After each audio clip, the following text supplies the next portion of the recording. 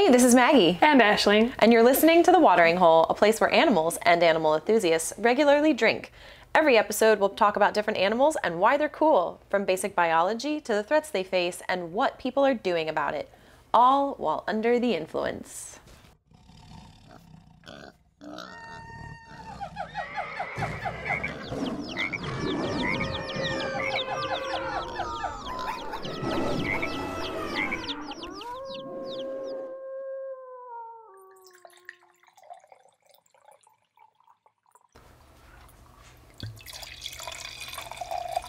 Okay, you can stop pouring. She's gonna take all the wine. It's not that much. All right. so we've got an episode in store for you. we sure do, folks. oh, oh, Um, also, does my shirt look like a make me look like a pirate? oh. It didn't until just now. Okay. Like I saw you wear this shirt all day. Yeah. Right now the sleeves look heavy. You know what? Um, they are filled with concrete. Oh, what an interesting. It's a new design way choice. to yes, it's a new way Feels to very- build arm muscle. Oh, feels very New York Fashion Week. Yeah, So, yeah.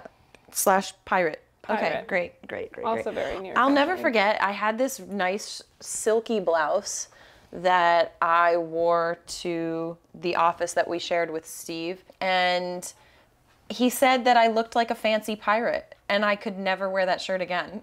See, I would take that as as someone who wanted to be a pirate so bad growing up. yeah. I would take it as the biggest compliment. Yeah, it just wasn't what I was going Nah, for. that is you true. know, when it is seven not years what ago. you're going for, it's when I was, upsetting. you know, still trying to impress people.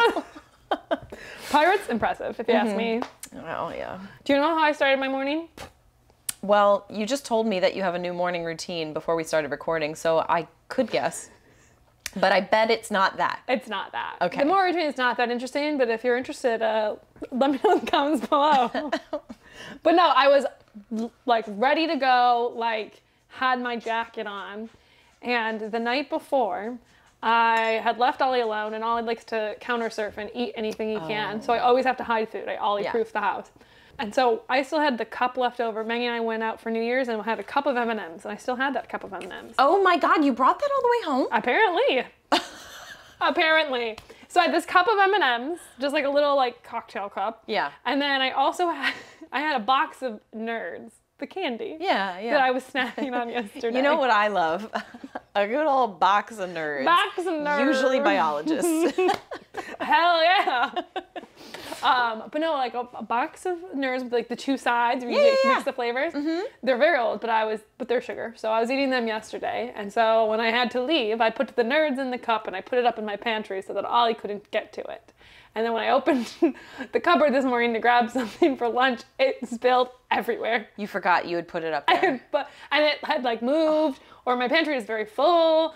Um, and so right before i left for work there were m&ms and nerds and those things nerds bounce. They bounce so much. They're also round, whereas like an M&M is at least The- all kind the- of flat. some of the m&ms shattered. They weren't that far up. They shattered. Shattered It was a thin candy shell. but if you want some nerds i still have the whole thing didn't spill but those things spread Wow, look at that. I feel like you're gonna be finding nerds Oh, I found I did. I did another check and I found an M&M that I'd snuck under a cupboard before you came Look over. at that. That was thorough. Well done. But yeah, so uh, I tend to spill things a lot. I did I did just like literally last week tell our coworker about uh, how I opened a thing of ramen and the noodles went everywhere. Oh, that is like the perpetual thing of opening bags that just. This happens with me and dog treats often, much to Argos's pleasure. But Yeah. like I, I don't know.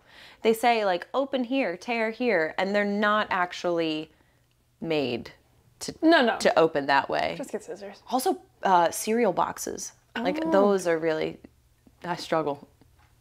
You are weak. We did realize that earlier today when you're trying to open a bottle of wine. I was trying to open it aesthetically, like you know those videos that are like Mercedes, and then they just haven't you seen these videos on Instagram? Are you talking about a commercial? The commercials that are that they're making parodies of, where they're like, oh. where they're like Bentley, and then they like No, I hate ASMR. I hate ASMR. uh huh, uh huh, And so they like do things that look, it's just stupid. Nobody touches their car that way. so here I am trying to open the wine bottle with using just my pointer finger and my thumb. Ah, that And was the issue. That was not how you open a wine bottle. Just don't do it. It's not worth it. No. And then your friend will make fun of you for it.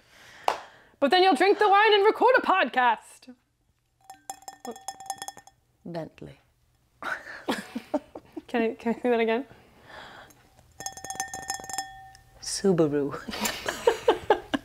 That is how why we bought our Subarus because of a commercial just like that.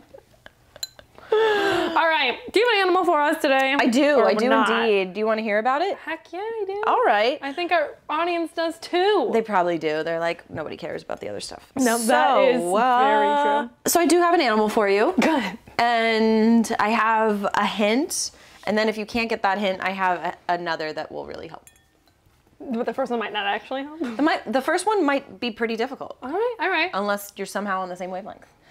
Okay, so this delicate predator is an aggressive mimic. This delicate Predator predator is an aggressive mimic. is an aggressive mimic. Delicate. I feel like it's like some kind of like praying mantis. You're close. Stick. Stick. like a stick bug. no, just a stick. I did a Just a stick. Today I'm here to tell you about the stick. they evolved thousands of years ago. Only thousands. stick. Stick. okay, but praying mantis was like kind of close. It was very close. So it's an insect. Mm-hmm. It's not a stick bug. It's not a stick or a stick bug. Not a praying mantis. Is it a? Mm, That's wasn't what I was gonna say. Also not it. Is it a predator? Is it some kind of wasp? No. Uh, is it some kind of ant, No. beetle, No. spider? Mm-mm. What the fuck? Would you like the follow up? Yeah. This delicate predator is an aggressive mimic who isn't religious like its well known green cousin. Isn't religious. You just said this animal. You you said praying mantis. Oh. So this one is not religious like its well known green cousin. It's Just a mantis. what kind? Shrimp. No, man, it's not a mantis shrimp, no. I don't know. I don't know. Do you think I know of my mantises? Maybe. You know a lot of things. Aggressive mantis. No. Bully mantis. No. You're probably not going to get it at this point. Yeah, I'm. Okay, ready? Yes, I'm so ready. I'm doing the orchid mantis. Oh, I do know this one. I don't think I would have guessed it. yeah, that's fine. That's fine. still very cool. also known as the walking flower mantis, orchid blossom mantid, and the pink orchid mantis. Okay, I was really close at the beginning. I know. I thought you were going to get it. Stick was far away, but uh, After stick, stick, bug. after stick, you got you got closer. Yeah, as soon as you said so, like a mantis, I was like, yeah, you're, you're right there, right there, right at the finish line. Woo! And then you turned around and went back. And to then the I start. ran away. I got scared. What's new? Okay, so the basics. Um, when it was first discovered, and I want to point out because the research I was doing was like it was first discovered in 18 something, and I was like, you know what? I bet you some indigenous people discovered it before. Long time ago. It was definitely known about before Mm-hmm. some white man was like, I discovered this species. anyway, so it was when it was first discovered. It was this Australian explorer, and he had observed a flower eating insects. So it its mimicry is so good that it fooled a human. In other words, Nice. um, it is a white and light pink colored mantis. So if you do know its well-known green cousin, the praying mantis, you imagine a pink and white version of that, and mostly white with some like pink hues. But it, it mimics an orchid flower. That's where it exactly gets its name. The four walking legs resemble flower petals, and then the toothed front pair that it uses to catch its prey. I think they're like still also kind of pinkish. You know, just imagine a Flower. flower That's walking around. yeah. Mm -hmm. Um, it can change its color from pink uh, to brown, depending on the color of its background, Nice. which is very cool. I don't know. I remember we. I think we talked about this last episode, but we were talking about all the colors that some species might see that we don't see. Yeah. So when I read this, that it can change color from pink to brown, I was like, those are the only colors that we've identified it changing to. What if it's changing to other colors Yeah. that we just don't even know exist? Very cool.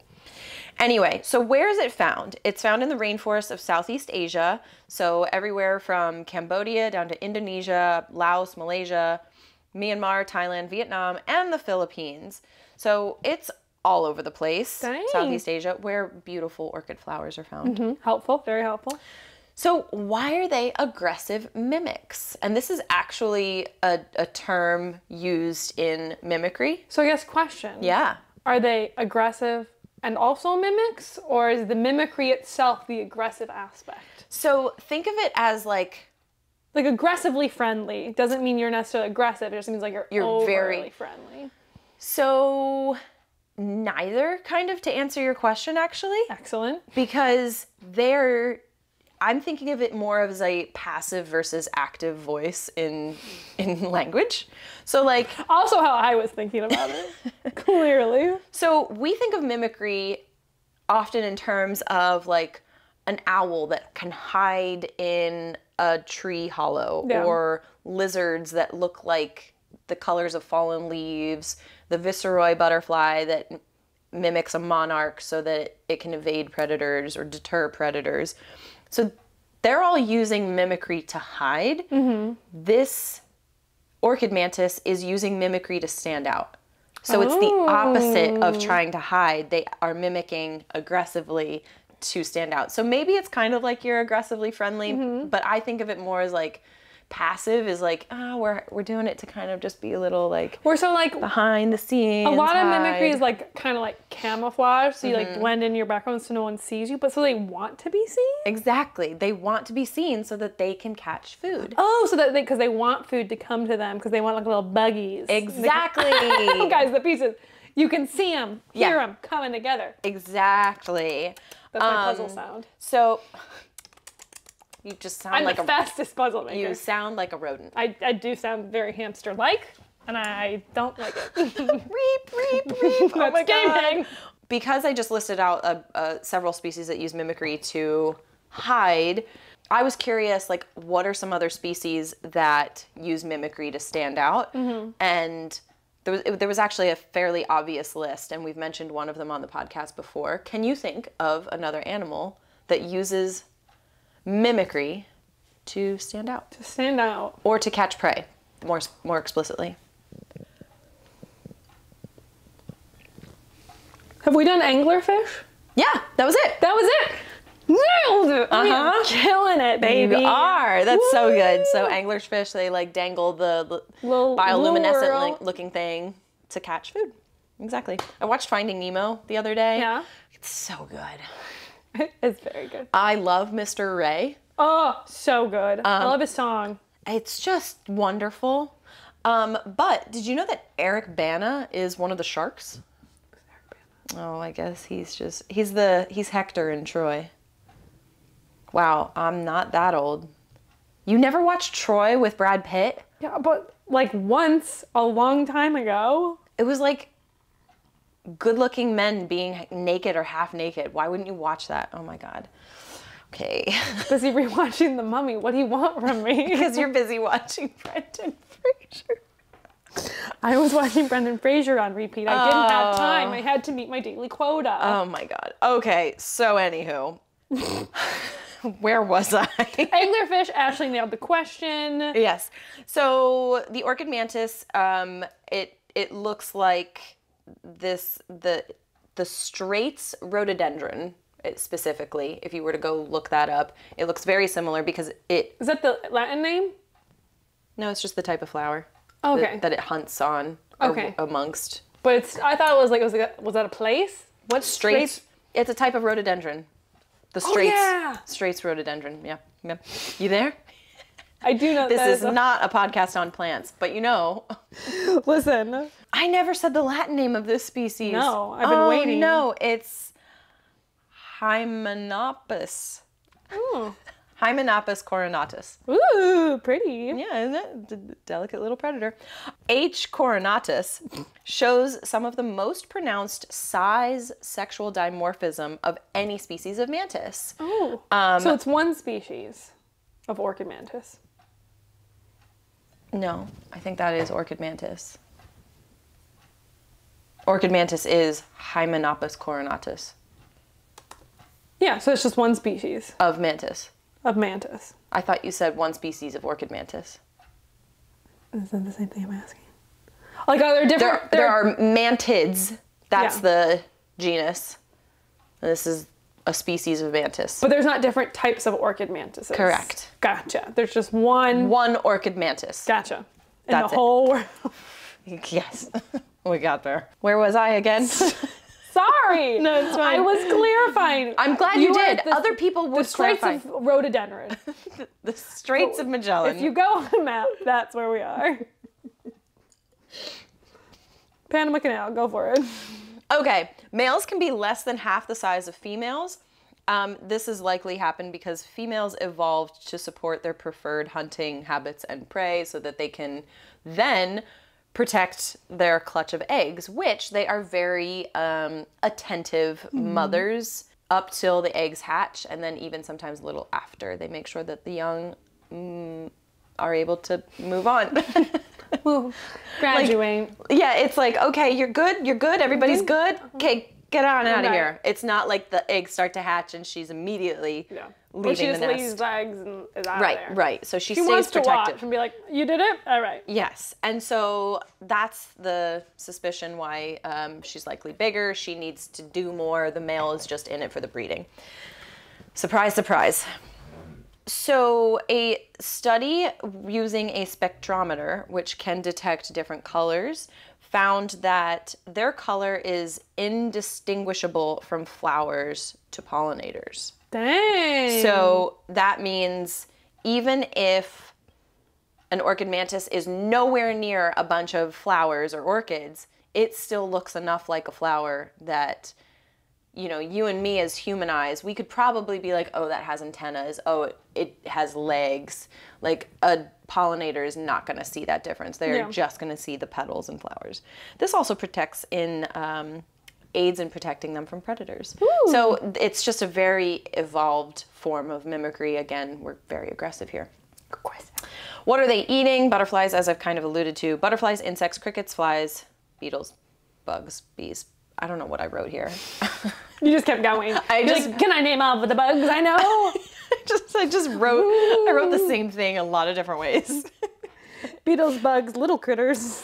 Um, what is breeding like? This is kind of funny, but I mean, not surprising. Did someone bite off somebody else's head? Yes. Yeah, they do. We know what it's like in captivity, so we that's probably what it is in the wild. But I want to read exactly what I read here because it's just funny. Please. The orchid mantis is favored by insect breeders, but it is extremely rare, so it's also extremely expensive. Breeding the mantises is a time consuming process, as the larger female will try to eat the smaller male once the mating is done. Therefore, the breeder will need to watch the couple throughout the entire process. Creepers. A voyeur. Um, so. A voyeur.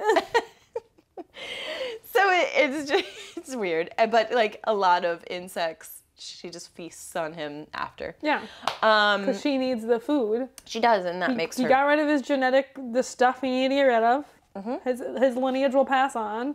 And now he's feeding his young with his head. Blech. but then that being said what i just read you might have picked up on it the orchid mantis is sold as like a not a pet but like uh, a trinket or novelty something excuse me what just was happened? gross. that was disgusting Are you okay?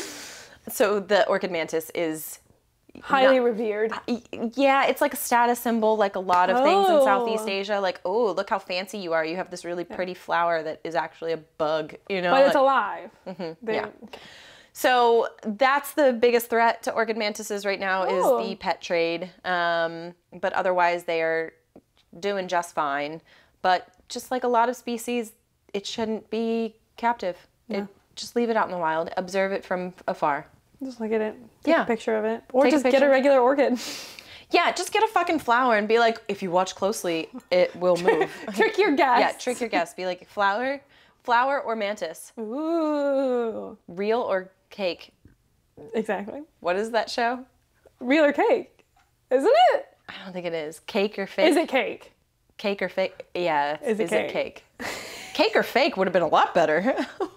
Come on, guys, get Maggie on these marketing teams. yeah, right. So there you have it, the orchid mantis. Very exciting. Yeah. I literally want to do a praying mantis, so I won't do it now, but um, or maybe maybe I will. Maybe you will, and we'll just learn all about the mantids. and how they're a little bit different. But that's exciting. I love. Well, I love orchids. And I love mantids. Now I love orchid mantids. Oh, look at that! New species.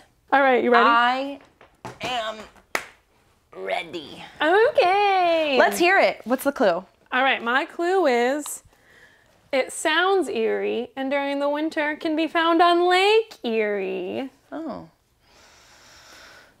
Hmm. Eerie. Is it a bird? Yep. Okay. Um. Is it a?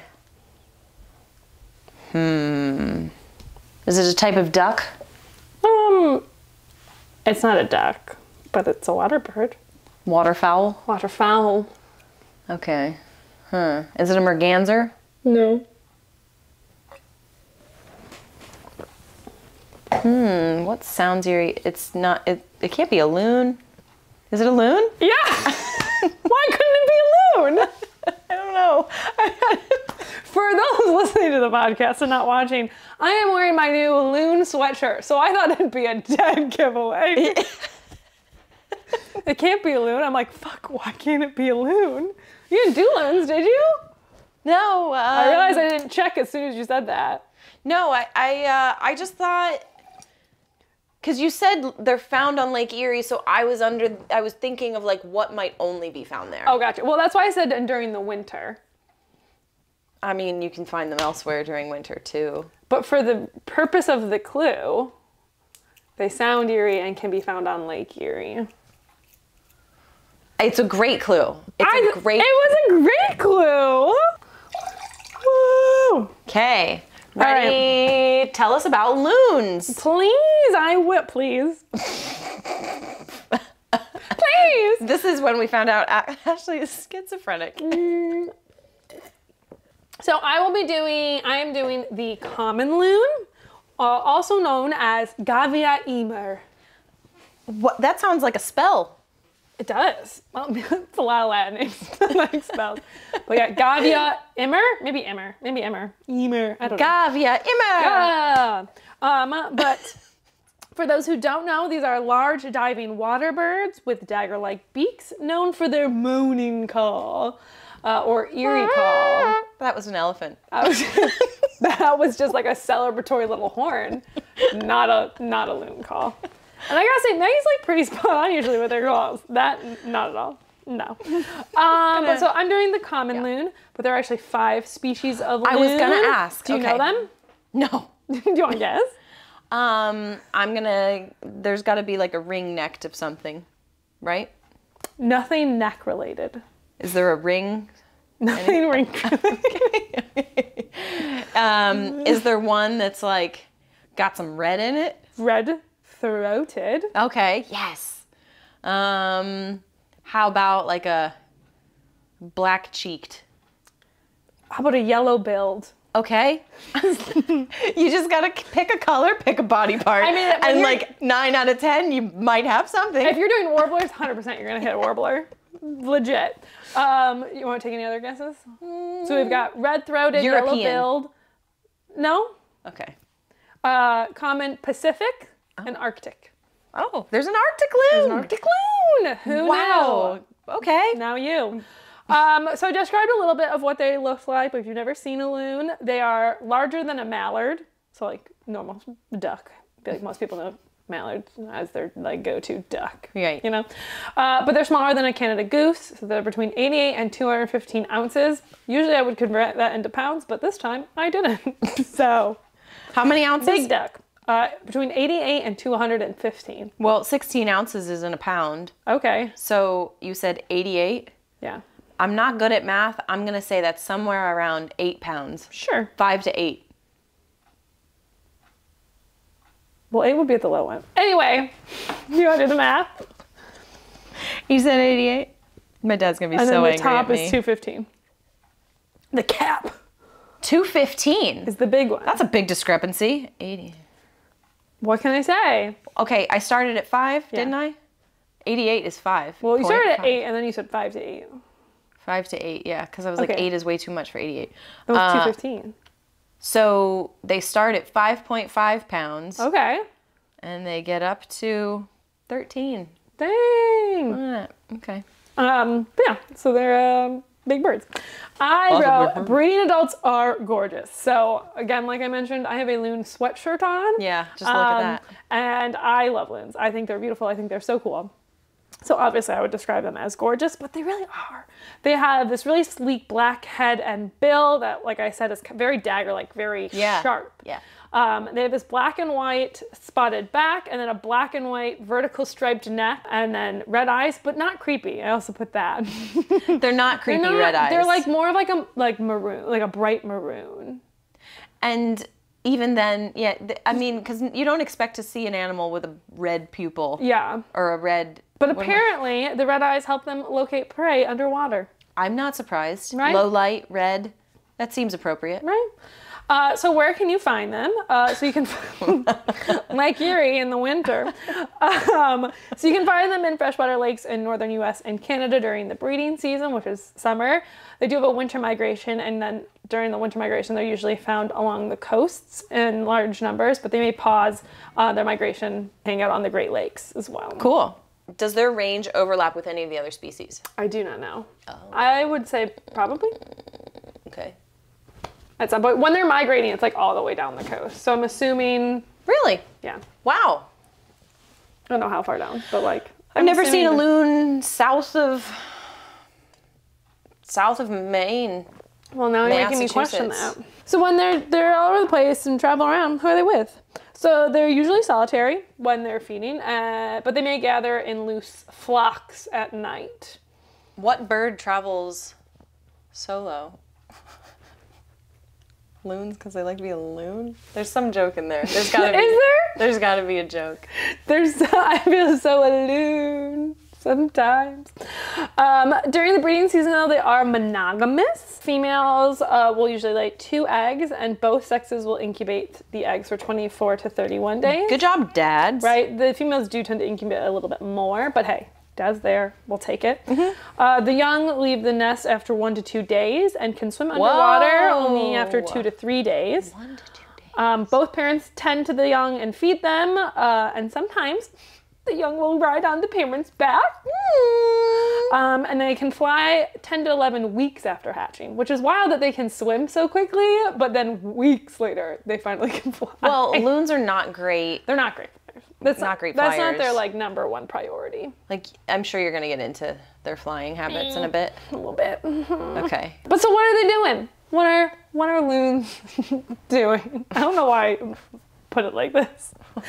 Being So, birds. Lots of foraging. Uh, they forage by diving and swimming underwater, propelled by their back feet, looking for small fish, minnows, suckers, perch, gizzard, shad, rock cod, and killifish.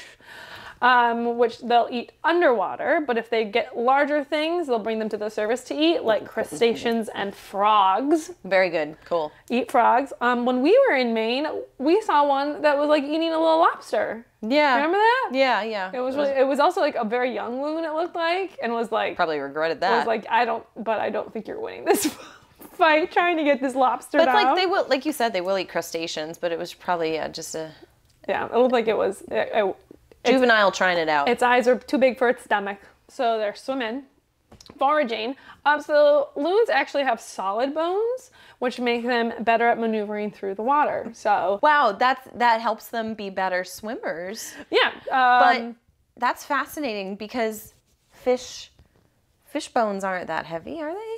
Well, fish are built to be underwater. Birds were originally built to not be underwater. Were they? no, but I'm thinking so like of most like birds have hollow bones. exactly, yeah. But like, But everything else has normal bones. why does this feel so unique? It's it's unique for loon for loon. Quiz is over. I don't know what I'm getting at. I I just I don't think Fish, bones are so. I don't know. I'm thinking of fish bones are light, but they are still solid bones. Okay. I like, get your question, but I feel like you were missing the point. I'm just. I'm in awe. I mean, they're not rock bones. They're not sinking to the bottom of. The. They don't have cement in their sleeves. No, no cement in these sleeves. Okay. All right, fine. Anyway, uh, and they can stay underwater for up to five minutes. So when they're courting each other, um, these monogamous pairs, uh, when in uh, courtship displays, pairs dip bills into the water rapidly. and by rapidly, I mean repeatedly, but I'm guessing it's pretty fast. They rear up to a vertical position with the wings partly spread, race side by side across the surface of the water. And they're like, oh, what a good dance. You want to have some babies, Yeah. Um, you want to lay some eggs? obviously.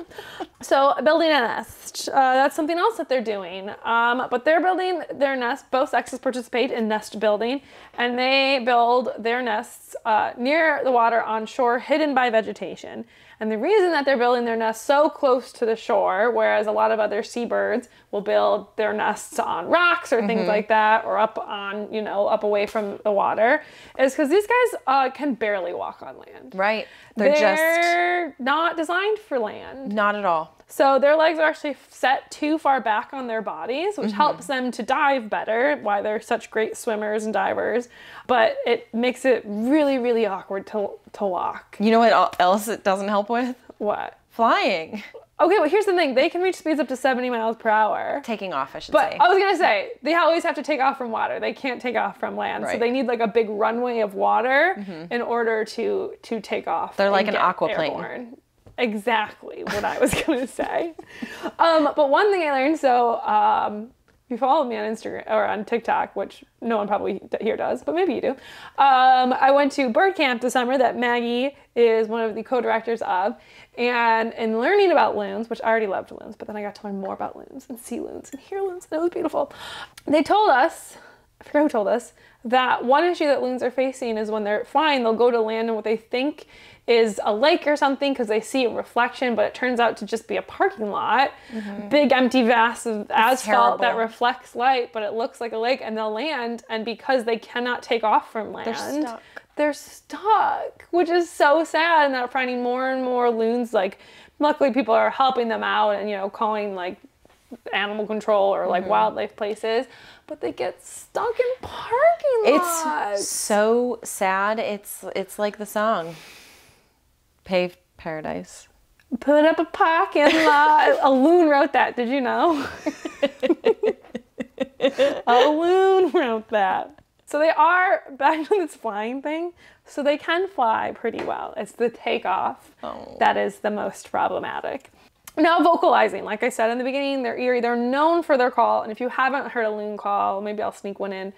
They're just so gorgeous and like haunting, but like so calming. Um, but they also have multiple kinds of calls. So the most common ones are a tremolo, the yodel, the wail, and the hoot, and they all have different purposes. The tremolo, spelled T R E M O L O, is the laughing call, communicating its presence to other loons. Okay. I thought you were gonna try to do it. I was gonna try. I don't think you should. Oh, you could. no, go for it. I'm supportive. That's the like Laughing call. Oh, like that, Yeah, but like loud, much louder. Yeah, yeah. I'll, I'll boost the audio so just that loud. Yeah. Okay. Uh, the yodel, which is a long and complex uh, call made by males to establish and maintain territory. Wait, what, I don't know that. Okay, keep going. Uh, the wail, a long call consisting of three notes and communicates location to other loons. So I think that's the one That's the one we like know. the that you know you're The at eerie. night and you hear it. When, Kind of. But like higher pitch. yeah, that was pretty good though. Shit, that was good. Was that good? I think that was good. You know, I'm not even gonna try because it was gonna be embarrassing before, but like now it's gonna be really embarrassing. I couldn't do it again. That was good. Uh, and then the last one is a hoot, short and soft, usually used in family groups. Sure. I don't know. I'm guessing.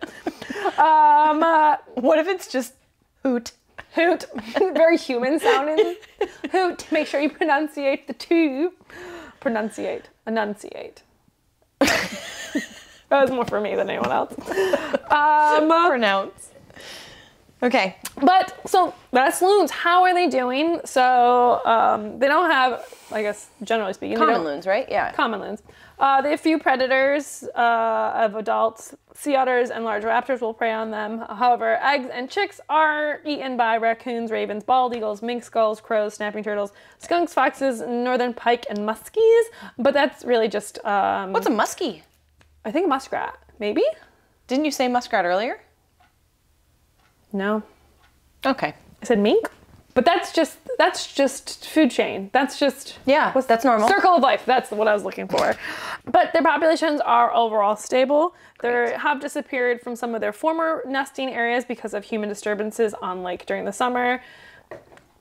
Makes sense. More people, more people recreating on lakes. Yeah. we got to make sure we're sharing that Coexisting. yeah, baby. Um, and then uh, acid rain reduces their food supplies. Um, and then, of course, climate change. Uh, because of Ah, climate change, they're, climate change. they're projected to lose much of its breeding range due to warming. So they there's lots of loons already up in Canada, but the ones that are in um, the United States are primarily breed in the northern areas like Maine. And as it warms, they'll keep moving up to Canada, which Canada's great, but it can't have all the loons. Sorry. Yeah. Sorry, Canada. Oh, Canada. Um, and that's loons. Just a reminder, though we are animal enthusiasts, we're not scientists. We've never claimed to be. Um, do your research. We just want you to get excited about animals like we are. Thank you for joining us on this episode. If you like our podcast, make sure you subscribe wherever you are listening and leave us a review. It'll help us reach more animal enthusiasts like you. You can find us. You can also find us on Instagram at the Watering Hole Pod, on YouTube at the Watering Hole Pod, and you can visit our website, thewateringholepod.com. I have to burp. Tune in next time when we learn more. we do learn more. We, will. do. We will learn more. Tune in next time when we learn about more animals, their biology and habitat, the threats they face, and what people are doing about it.